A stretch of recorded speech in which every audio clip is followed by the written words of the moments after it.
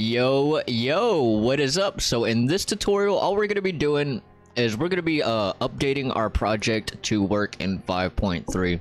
So if you've already made your project in 5.3, then you're good to go. You don't have to do this step. But uh, I started this project in 5.2. So uh, yeah, we're going to be upgrading this to 5.3. So let's get started. So you don't want your project open, uh, just go ahead and close it out. And we will open the Epic Launcher.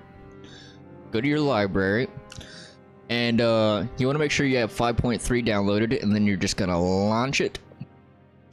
And you want to click on the project that you want to upgrade. So we're going to upgrade this one right here. And then we're just going to press open and uh, it'll just give you a little thing here says this project was made a different version and all we're gonna do is we're gonna open a copy. So this will just make a copy of it and it'll uh, make it in 5.3 so it'll take a little minute but um it will open. And once it opens it's gonna you know have to prepare shaders. There's gonna be a little thing down here that says update. We can uh press update.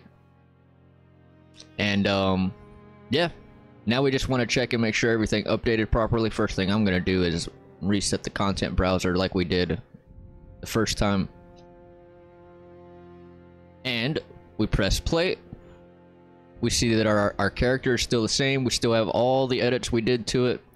Uh, our female character is still the same. All those edits are still the same. Our jump input is still the same. All the edits we made with the uh, the animation should still work. And, um, yeah. So, um, now obviously you're going to have two project versions. If you go into your, uh, where your project files are, you'll see that you still have the, uh, the 5.2 version and it's made a copy of the 5.3 version. So this is going to take up a lot more space. So if you want, you can just uh, delete the old version, which I'll do now. Delete. And uh, now we just have this version. And uh, save a little space. That, that's pretty much it for this one. A really, really quick and simple one. And uh, we'll call it here. So, if you like the video, hit the like button. If you're new around here, definitely subscribe. If you have any questions, let me know those down in the comments. And I'll see you in the next one. Peace out.